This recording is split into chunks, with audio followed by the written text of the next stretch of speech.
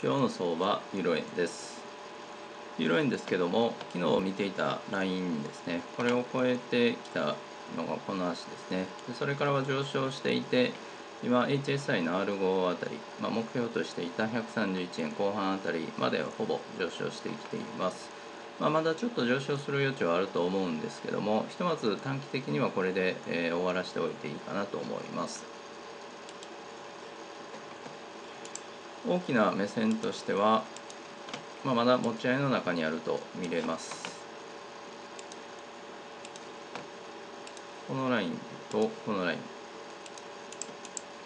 まあ、現在はこのラインで見ているんですけどもこのラインどちらか超えてくると大きく動き出す可能性も出てくるかなと見ています。確実なのはこの高値を超えるかこの安値を下に抜けてくるか。というところですね、まあ、もうちょっと分かりやすい形を待ってトレードでもいいと思いますし、まあ、例えば、えー、相場張り付いて見える方だったら3分足とかその辺を見て、まあ、分かりやすい形が出たら、えー、取引していってもいいかなと思います。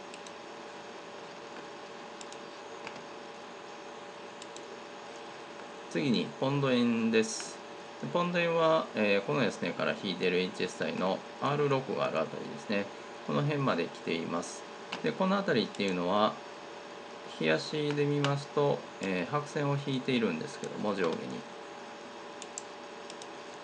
でこの上下の白線の、えー、上がレジスタンスの辺り。で下がサポートの辺り。この間で今相場が動いていると見ています。ですのでここをしっかり超えてくると、えー、この高値付近を狙ってくるかもしれないというところですね。HSI の R7 と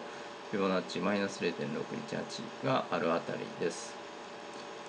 ここを超えてくるかどうかっていうのが一つ注目かなと見ています。超えてこなくて、まあ、下げ出したらまたこのレンジの中で動く、形になると思いますのでその時にはまた売りを考えていきたいなという相場です。ドル円もちょっと見ておきたいと思います。ドル円は注目しているのは上はこのラインですね。で下はこのラインで一応見ています。下はちょっと抜けてくる可能性もあるかなと見ていたんですけども割とまあここが重要な安値になっていたのか一旦上昇してそこから下落調整があって安値切り上げて再度陽線を形成してきています。もしこの上のラインを超えてくるようだとアップトレンドになる可能性が高くなってくるのではないかと見ています。ずっと重要な高値、えー、切り下げていってたんですけどもまだしっかりは超えてきてないんですがここの高値に対して現在ほぼ同値ぐらいまで上がってきていますもし超えてくるようだと、えー、この99円中盤あたり目指して上昇していく可能性が出てくると思うんですけどもちょっと、えー、展開が変わってくる可能性もありますので、えー、そうなってきたらトレンドが発生する可能性ももしかしたら出てくるかもしれないというところです。まあひとまず期待せずに待ってトレードチャンスがあればトレードしていきたいなというところです。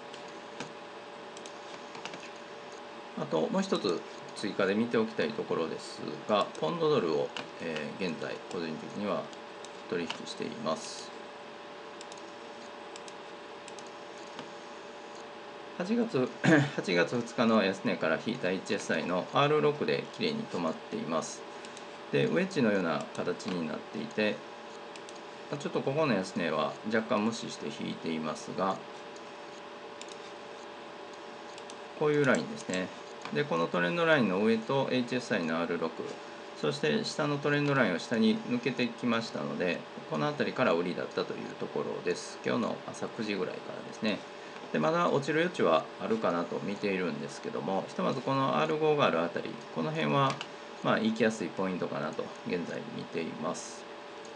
その後、まだまだ下がる可能性も、えー、あるかなとは思うんですけども、ひとまずはここで決済して、もしかしたらまだ上昇していくかもしれないので、また次の展開を待ってトレードを検討してもいいかなと思います。以上、今日の相場です。